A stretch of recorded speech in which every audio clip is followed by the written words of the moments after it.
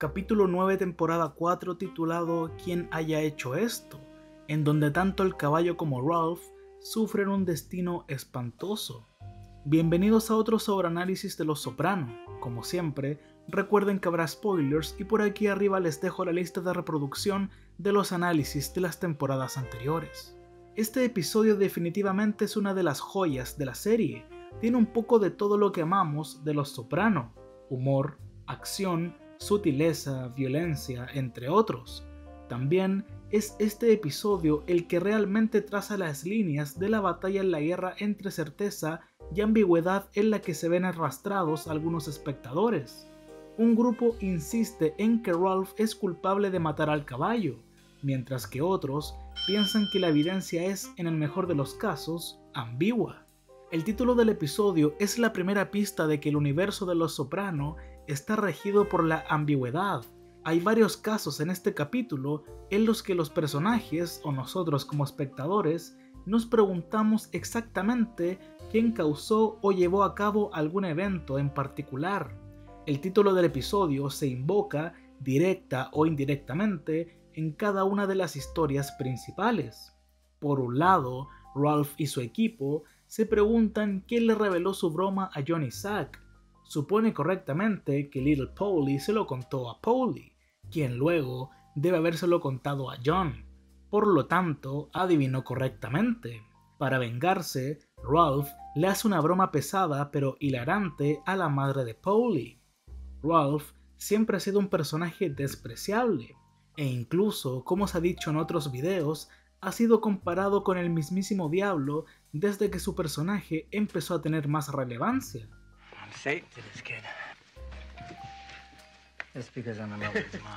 En el episodio Universidad se vio un plano en donde arriba de Ralph había un cuadro con una salpicadura de color que representaba un remolino de emociones y turbulencias que refleja su carácter demoníaco. Más adelante, Janice está leyendo un libro del origen de Satanás con Ralph al lado, y no está de más mencionar que justo detrás de él en este plano se alcanza a leer el diablo. Sin embargo, como ya es habitual en el programa, muchas veces cuando un personaje morirá pronto o en el mismo episodio, los humanizan o hacen que sintamos cierta compasión por ellos. Pasó con el detective Bean. No sabíamos nada de su personaje, pero antes de su muerte, verlo así de triste o querer que Tony le preguntara cómo está o escuchar que tenía problemas o saber de su infancia y que realmente le era fiel a Tony, hace que su muerte sea impactante. Con Lidia, aunque sea difícil de imaginar, también pasó. Su amiga trató de humanizarla y más adelante, a través de un flashback donde tuvo un aborto espontáneo, también hicieron lo mismo. Con Pussy sucedió casi igual y ahora con Ralph también, aunque sea un personaje desagradable. Cuando su hijo sufre un accidente, Ralphie decide que debe pasar página y convertirse en una mejor persona. Este es otro ejemplo de cómo Los Soprano juega con la ambigüedad. Por muy demoníaco que pueda ser, la serie quiere que al espectador le resulte difícil verlo como completamente malvado. Y cuando vimos a Vin reflexionar, se estaba bañando, casi como si fuera una ablución espiritual antes de quitarse la vida. De manera similar, Ralph también se está bañando cuando el capítulo comienza el proceso de rehabilitación de su personaje por decirlo de alguna manera. La ama de llaves Inés grita y golpea la puerta del baño, pero Ralph no se alarma al principio, pero se pone ansioso y nervioso cuando la escucha gritar el nombre de su hijo, quien ha sido herido por una flecha. Fue su amigo quien disparó dicha flecha al aire, pero el papel de Dios, si es que tuvo algún papel, al dirigir la flecha es una cuestión importante del episodio. Luego, el niño es llevado de urgencia al hospital y tiene una condición crítica. La escena del hospital realmente resalta las complejidades de Ralph. Lo vemos desolado, con dolor, esperanzado y lleno de ira al mismo tiempo. Se desquita con el marido de su ex esposa y Tony prácticamente tiene que estrangularlo contra la pared, un gesto que se repetirá más adelante. Ralph se siente como un hipócrita recurriendo ahora al padre Phil, pero el sacerdote le asegura que Dios lo entiende y es al único que tiene que recurrir. Indignado por la injusticia de un accidente tan horrible, Ralph cree que el accidente de su hijo es una especie de venganza cósmica por sus propias fechorías. De hecho, parece que Dios puede repartir venganza y hacerlo con una gran dosis de ironía cuando consideramos la fechoría de Ralph al principio del episodio, su llamada telefónica de broma. Durante la llamada, Ralph le dijo a la madre de Paulie que su hijo tenía que ser llevado de urgencia a la sala de emergencias solo para tener que llevar a su propio hijo a la sala de emergencias más adelante. También le pidió información sobre su seguro y luego le dice a Tony que es posible que su propio seguro no cubra todo el tratamiento que su hijo necesitará. Quizá Dios está enojado con Ralph por culpar a Pauli de una práctica sexual extravagante en la llamada de broma, cuando en realidad es el propio Ralph el que tiene algunas inclinaciones sexuales bastante extrañas. El padre Phil no puede explicar por qué su hijo está sufriendo, solo puede decirle a Ralph que es un misterio de por qué pasan algunas cosas, pero está seguro de que el Señor no está castigando a su hijo como venganza por las malas acciones de Ralph, porque según él, Dios tiene un plan para todos nosotros, es bondadoso y no castiga a la gente. Con estas declaraciones contradictorias, el padre Phil demuestra que él, como todos, cambia inconscientemente de la ambigüedad mística al decir que todo es un misterio a la certeza, porque asegura que Dios no castiga a la gente, dependiendo de qué punto de vista sirva mejor a sus prejuicios y creencias en un momento dado. La curiosidad de Ralph sobre por qué ocurre tal tragedia se ha visto otras veces en el programa.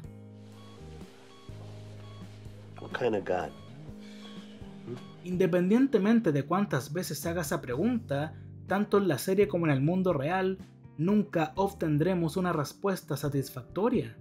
Más adelante, Tony está en la cama con la ex novia de Ralph, Valentina, cuando recibe la llamada de la entrenadora de caballos sobre la muerte de Mai. Algunos espectadores ven esto como una pista de que Ralph mató al caballo como venganza contra Tony por salir con su ex novia. En el establo quemado, la entrenadora muestra una bombilla fundida como evidencia de que el incendio fue accidental, pero esto a Tony no le convence, ya que sabe sobre incendios provocados. En el primer capítulo ocasionó uno. Por lo tanto, parece sospechar que el incendio fue provocado. Además, la entrenadora menciona el alto valor de seguro de los animales muertos. Tony se da cuenta de que él y Ralph Recientemente contrataron una valiosa póliza de seguro para el caballo, y seguramente recuerda la queja anterior de Ralph sobre la elevada factura del hospital de su hijo. Sin duda está dentro del temperamento de Ralph cometer tal atrocidad, y todas las piezas están empezando a encajar en la mente de Tony. Y esta escena se cierra con una toma de la compañera de Mai, la cabra. Históricamente, al menos desde la Edad Media, la cabra se ha asociado con Satanás. Si eso es lo que la serie quiere decir con esta toma, entonces se convierte en una asociación más entre el diablo y Ralph, y señala su culpa por matar al caballo. Es difícil decir si Tony ya está convencido de la culpabilidad de Ralph antes de llegar a la casa de este último, o tal vez se convence después de llegar ahí.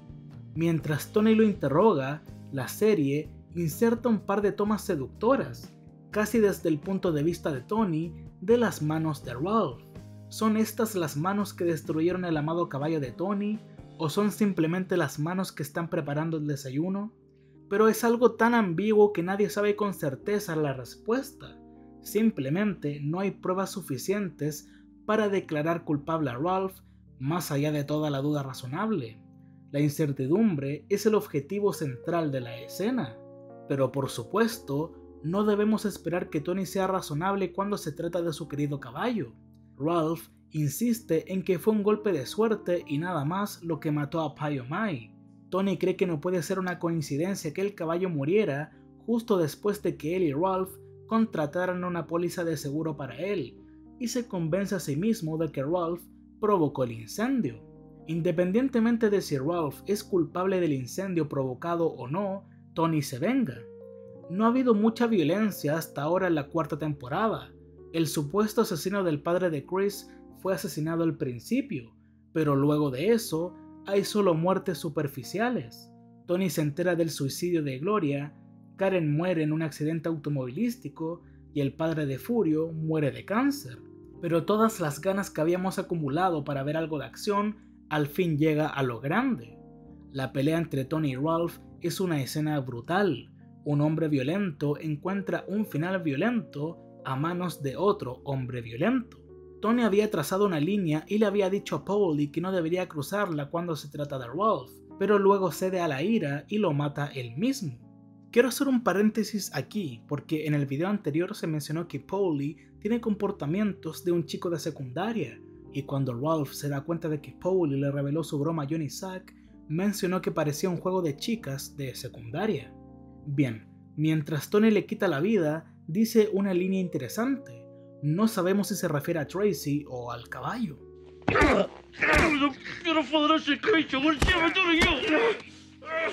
Es difícil suponer eso, ya que las tensiones entre los dos no habían disminuido desde que Ralph mató brutalmente a Tracy. Pero esto se pone más curioso e interesante cuando en el único episodio en el que ella aparece se hagan unas cuantas referencias que casi vinculan a Tracy con un caballo. Come here. I want to show you what a horse bit me. Hi, Tony. Hey. Kid's a thoroughbred. But Maron, those choppers. Fucking train wreck. And they have a horse fireman. Ride and talk. Paul's very inspiring. Sounds good. Tanto con Tracy como con el caballo fueron abusados y usados por Ralph. Ella sufrió una humillación sexual por parte de Ralph y también se burló de ella cuando Silvio la golpeó y para qué hablar de su brutal asesinato. Y el sufrimiento prolongado de Payo Mai empezó cuando Ralph se negó a pagar la factura del veterinario hasta que Tony acudió al rescate, algo que Tony nunca logró hacer por la pobre de Tracy a pesar de que ella se le acercó más de una vez. Ralph era un mafioso astuto, así que no había problemas para creer que el caballo estaba condenado una vez que él tomó posesión. Pero bueno, toda la segunda mitad es increíble. La ausencia de sonido, cambios de iluminación, todo funciona de manera brillante para crear un ambiente casi mareante, y quizá ningún episodio experimente tantos cambios de tono, puesto que todo comienza con bastante humor, particularmente a expensas de Junior o la broma telefónica, y luego pasa el oscuro accidente del hijo de Ralph y la muerte de Payo Mai.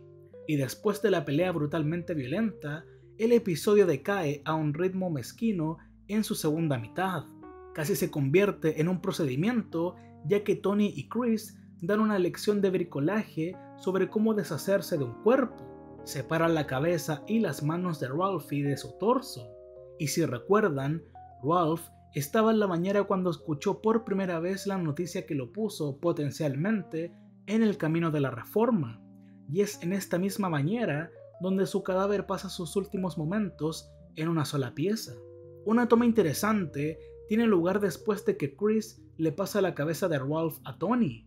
Él tiene una mirada reflexiva en su rostro, como si todavía no estuviera seguro de si Ralph realmente provocó el incendio, pero obviamente es demasiado tarde para hacer algo al respecto ahora, aunque nunca sabremos si realmente lo pensó. Bien, Tony y Chris arrojan el cuerpo de Ralph por un acantilado y entierran sus extremidades.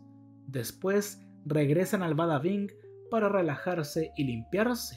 Y cuando Tony se despierta, Chris ya no estaba, y Tony se mira a sí mismo en el espejo.